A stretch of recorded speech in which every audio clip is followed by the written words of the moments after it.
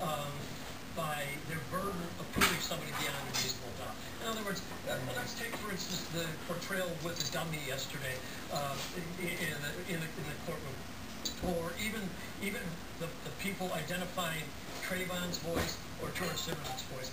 All of those things kind of contradict each other, and the jury's going to go back there, and I think, nobody's ever good at, guessing at juries, but I think they're going to go back say, okay, let's look at this instruction that says beyond a reasonable doubt. I think that's going to be the problem for the prosecution.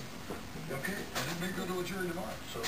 Yes, yes, it, it, it will go to the jury tomorrow, according to this judge, and she seems to be one that you don't really want to cross, especially like. Exactly. Thank you very much. All right, guys. Stay with WGN for complete coverage of the Zimmerman trial. We'll bring you updates throughout the midday. And for more, you can log on to WGNTV.com slash Zimmerman. A pregnant woman lost her baby after a group of people beat her. This happened in a 48-hour block of South on Monday night. Police say a group approached the woman, who was 25 years old, and exchanged words. The group then knocked that woman to the ground where she was hit repeatedly the stomach. The woman was nearly eight months pregnant. She was treated at the hospital where she delivered a girl who was stillborn. So far, no suspects are in custody. A man driving a faded gray minivan in the Wentworth area is wanted for attempted luring. Tuesday night, a 13-year-old female was walking south down the 5,000 block of Dorchester when a man began following her. He yelled for the victim to get in his vehicle, but she ran away. The offender is described as an African-American man in his late 30s, heavy build, bald-headed, wearing glasses. His vehicle is a faded gray minivan. And in a similar instance, uh, on the same evening, a 14-year-old female was approached in the 700 block of South Karlov Avenue. A man drove up to the teen and asked her if she wanted a ride.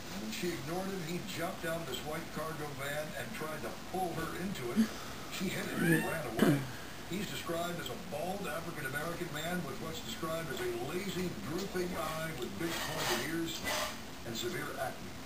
Governor Quinn strongly defends his power to strip lawmakers of their paychecks until they fix the state's whopping pension deficit. The governor used his so-called line item veto authority to suspend pay for legislators and himself.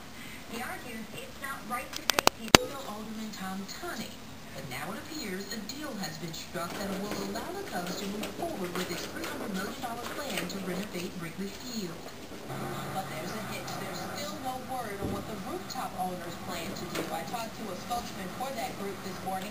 He tells me they have not seen the plans for these new plans for the outfield signs. He says, but they will be at the Landmark Commission's meeting today to speak out there. He says he didn't want to talk about that threatened lawsuit, but he says their position has not changed. They will take whatever action necessary to anyone who tries to block their views on the field.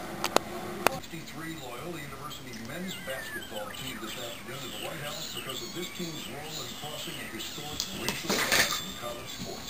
50 years ago, the Ramblers won the national championship in the NCAA tournament.